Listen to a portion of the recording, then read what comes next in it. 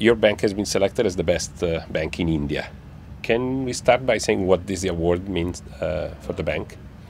Well, I think the award, uh, in a way, is is uh, very humbling, and it's uh, you know I feel very happy uh, to receive this award. I think it's a recognition of what the team has put in place um, to make the bank what it is, and I always believe that any such recognition is also a big responsibility, because it means that uh, we are setting standards and that we should continue to keep setting standards.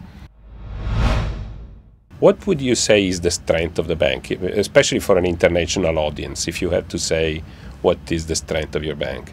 Uh, you know, the biggest strength is the very, very strong capital adequacy. Our uh, tier 1 capital adequacy ratio is uh, close to 14%, which probably makes it the strongest, uh, you know, one of the strongest amongst the world.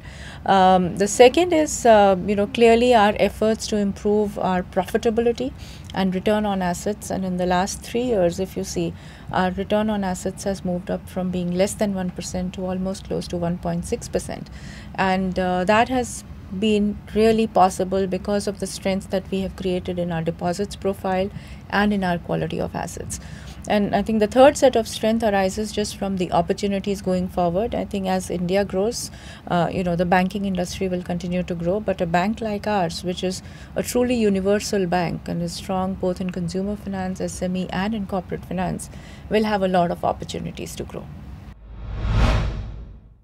from an Indian perspective, what is what is the feeling that you have? We're so used to talk about Europe these days, but now there is also talk about the effect that the crisis is having on emerging markets. What can you give us a little bit of an Indian perspective on this? Uh, well, I think uh, you know today's world is quite connected, so one cannot say that anything that happens anywhere else does not impact the other countries. But having said that, um, I think when you are in such global forums, you realize that for a country like India, there is still a lot of the domestic strengths that we have. Uh, we have our demographic dividend, and we have the entire consumption side of the story, which continues to remain very strong.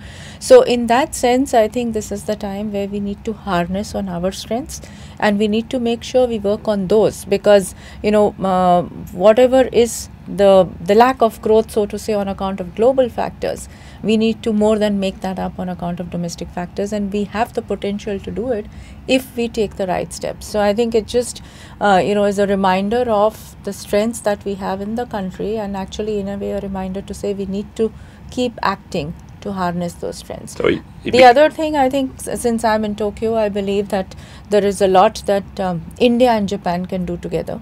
And uh, you know, uh, there are of course a lot of Japanese companies that are operating in India, but there are many more who are looking at increasing their presence in India. And a bank like ours can actually play a big role in, in um, you know, again growing that relationship.